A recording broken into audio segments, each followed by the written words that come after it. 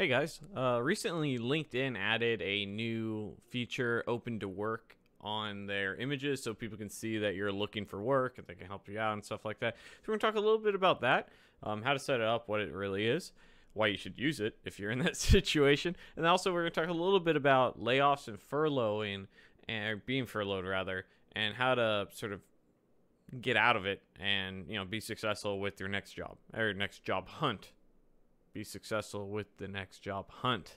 Uh, that's what I meant to say. Let's go ahead and get into it.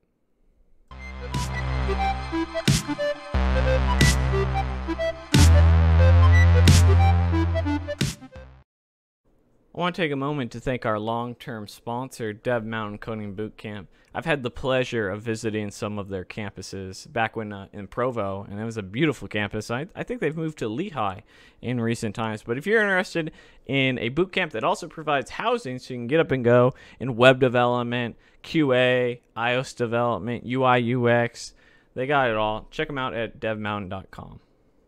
So for a while now, LinkedIn has had this um, section on your profile page. You can see we're on my profile page here, and you can go and edit, and you can say, "Hey, I'm you know casually browsing whatnot, or you know what what you're open to. Are you open to work? Right? Um, my case, I just put share with recruiters only that I'm flexible, casually browsing, and that if you can go here and go say, hey, add the hashtag open to work photo frame. Now this is also going to share it with your entire entire um, you know anyone can see this. So you really probably don't want to do it if you're looking to jump jobs. Your your boss may be a little look at you a little side-eyed. You want to keep on the recruiters only. But something to consider. It looks like this basically. Kind of hard to see in there. Um, but essentially your image is there. This shows up on there. And it allows people to see much easier that hey you know dylan is in need of a job or dylan is looking and it's very visible from your profile picture right and that way when you're commenting on blogs or posts or you know recruiters are looking for you you're going to stand out. And that's what it's really all about.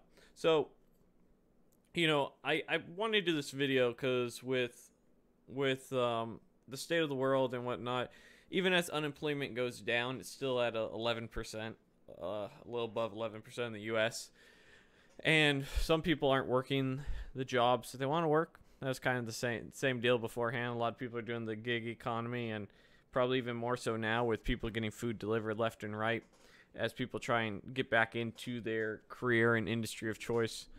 Now, uh, one thing I would say to people who've been laid off or furloughed is that um, you know sometimes people like to take a breather, um, and it's understandable, right? When this stuff happens, uh, it's sometimes you need a moment to recharge, but sometimes that recharge period goes on for too long. Like one day is would be my recommendation. Take one day to sort of go through the emotions of maybe feeling sorry for yourself and woe is me and and you know just sort of go through those cycles. I say this to somebody who has been laid off in the past and understand what that feels like.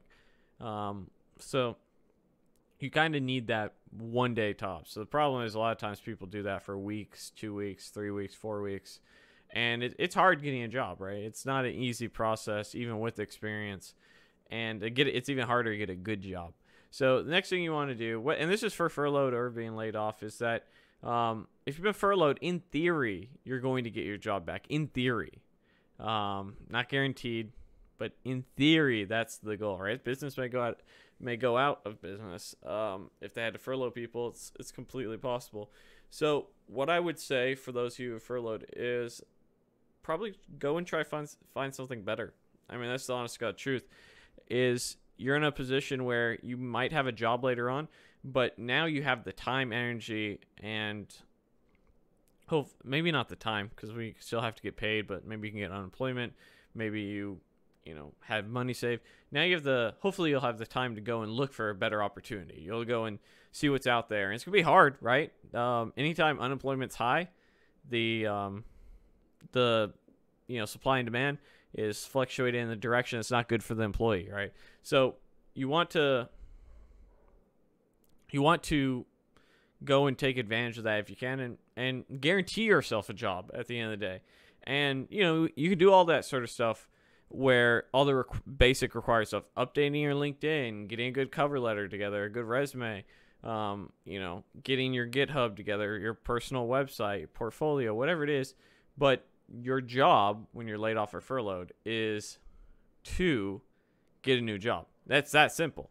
Hopefully, a better one, right? Um, each and every time I've been laid off, which is once, I guess. So each and every. Um, I did have a when I was a staff writer at a data center called Quadranet. I got I was a consultant or a contractor, and they they laid me off, but um, it doesn't really count as getting laid off because you're a contractor. Um, but I the one time I did get laid off, I did find a better job, and um, luckily so. But that's not always going to be the case. Sometimes you just have to to get a job that pays the bills to get by. And if you do that, that's fine. My suggestion to you is to continue looking for a better job. Sometimes you have to take pay cuts to get to where you want to go to pay the bills and do all that sort of stuff. Um, and it's not ideal, but sometimes you have to. Is that if you fall into that position where you're taking something that you know isn't going to be long term, treat it as such so often people go and the same thing with like relationships. You go and you um maybe you're casually dating or something like that and you try and convert this casual situation in a very serious situation that the other party just isn't going to be compatible for you in that circumstance. And like same thing is with your job. You might go and take a temporary job that you know you won't be happy with long term, but you try to make it yourself happy with it, and it doesn't work out a lot of times. Um, but sometimes you got to do that to pay the bills, right? So as you're being furloughed and, and laid off, like these are the things that I would suggest you do. You can all there's obviously um, reaching out to people. I I could tell you that the best way to get a job, hands down, statistically speaking, is networking like reaching out to people you know that you've worked with. It's a little harder when you're just starting out, right? Like if you've never had a developer job before and you don't have those connections, who do you have to reach out to? Nobody, right? And so that's a different situation. But if you do have, um, you know, if you have some experience and you just happen to be laid off, reach out to those people. Shoot them a message. First thing I I do whenever I've had anybody who's reached out directly to me that I know, say, hey, you know, I'd let my team member go, Dylan. Um, fantastic guy, just company struggling. Um, I couldn't recommend him more. Uh, can I give you his resume? Absolutely. I take a look at it and I send it. Finding good talent and finding good people is hard to do. And so when you're able to get a recommendation that skips through the stacks of 100 interviews and goes from dev to HR or hiring manager, you're at the top of the list and making those those um those um those acquaintances, those friends, those colleagues, and having the opportunity to reach out to them. It may not work out, but you will have more opportunities faster and quicker than just going and applying. And it's it's going to be one of those items that yeah, you're going to have to have some experience, yeah, you're going to have to be in the field, but if you're if you're in that situation, that's your way out. That's your way of putting your feet down and like getting out of the hole that is, you know, uh, unemployment at, at, the end of the day.